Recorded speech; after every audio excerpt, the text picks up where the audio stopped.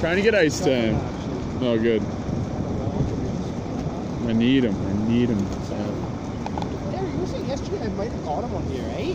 Well, I'll see what I get. From, uh, you can ask him. I don't think. I don't know. I don't have him. Okay, thanks, I Brandon. I didn't get you on here though, right? Uh, nope. Okay. Thanks for your honesty.